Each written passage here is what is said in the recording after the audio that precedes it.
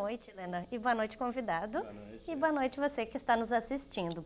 Hoje eu trago uma amostra de fotografias chamada Endereçar, que começa amanhã na Casa de Cultura Mário Quintana. Essa amostra, ela traz a história de famílias, cerca de 600 famílias, que estavam às margens da BR-448, mais conhecida como Rodovia do Parque. Elas moravam ali de forma irregular, em casas com poucas condições, não havia saneamento básico, infraestrutura.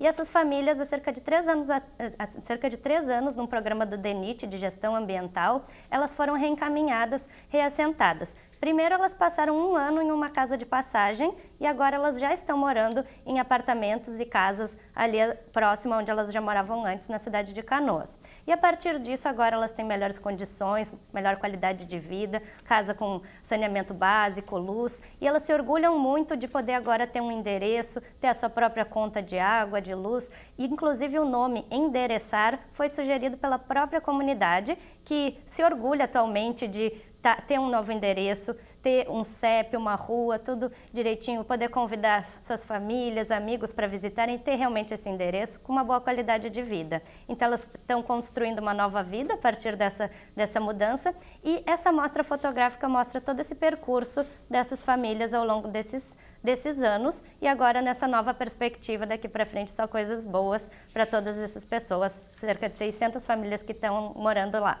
Então, a mostra fica na Casa de Cultura Mário Quintana até o dia 30 de novembro, começando amanhã. Então, você tem o mês todo para conferir essa, essa, programação com entrada franca. Fica ali na Rua dos Andradas, no hall mesmo da Casa de Cultura, número 736.